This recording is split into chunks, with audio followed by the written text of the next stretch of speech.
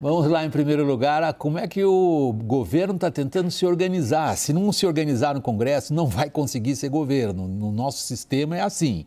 O chefe do executivo, se ele não se entender com o legislativo, ele pode pensar o que ele quiser.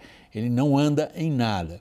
Nessa quarta-feira, o PL, essa é a principal legenda e é de oposição, assumiu o comando de cinco comissões na Câmara, vencendo uma queda de braço que já durava semanas. Reportagem de Tainá Falcão.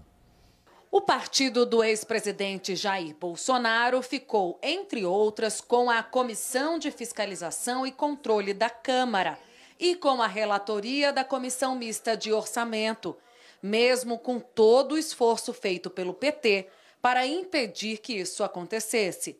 Dentre as atribuições desses colegiados estão a elaboração do orçamento federal e a deliberação sobre representações e relatórios do Tribunal de Contas da União. Esse é mais um sinal da dificuldade que o governo tem de organizar os aliados e conter focos de rebelião entre os parlamentares. A CNN apurou que o Planalto desconhece o tamanho real da sua base na avaliação do executivo, os votos terão de ser conquistados a depender da pauta de cada votação. O PT, por sua vez, ficou com quatro comissões, dentre elas as duas únicas que são terminativas na casa: a de Constituição e Justiça e a de Finanças e Tributação. Um parecer contrário no âmbito dessas comissões tem o poder de rejeitar qualquer projeto.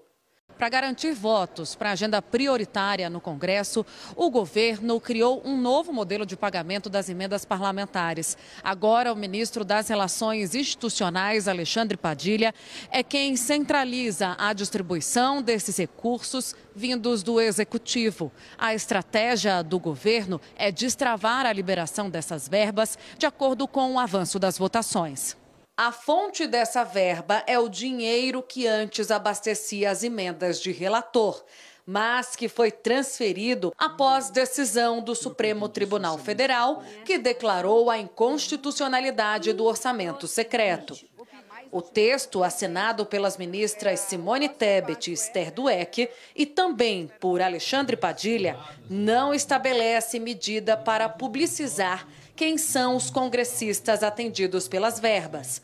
O governo, por sua vez, diz que a destinação de recursos empenhados para essas emendas segue decisão do Congresso, em conformidade com o padrão da lei orçamentária.